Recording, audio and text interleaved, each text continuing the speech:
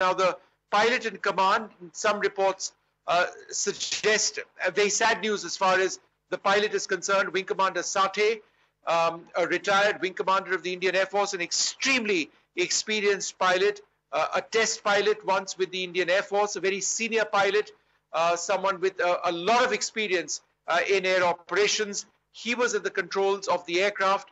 Uh, even if he wasn't personally at the controls, he was certainly the commander of the flight. Um, he, uh, some reports suggest, um, you know, the news about Wing Commander Sathe may not be very good. He was the commander on this flight. Uh, there are also reports of casualties which have come in, and we've been reporting those casualties as well. Um, Wing Commander Sathe was the X-17 Squadron Golden Arrows uh, commander of the squadron uh, of the Golden Arrows, uh, a, a, very experienced pilot. And as uh, we've been reporting earlier on, there is some in information uh, which suggests that he'd left and worked with Hindustan Aeronautics as well earlier before joining uh, Air India. Now, there's some more information, uh, Air India Express, I should add, that is coming in.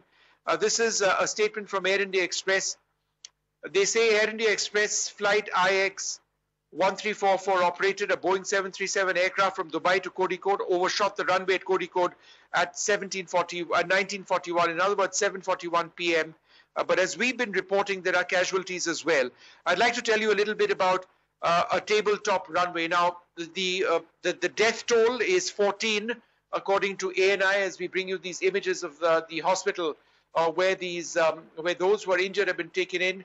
Uh, at least 30 to 40 people initially were injured, but given that 190 uh, were actually on board the aircraft, so we are now told that many, many were injured on this particular flight, several of them seriously. ANI reporting that the death toll is 14. NDTV, uh, we were reporting 11 a little while earlier on. Uh, so the numbers are going between 11 and 14. It's a very, very sad situation. Um, so 15 dead. I can now report that 15 people dead and four people still trapped inside the debris of that Boeing 737 NG aircraft of Air India Express. The rest are all injured. Um, we are now confirming on NDTV that 15 people have died in this.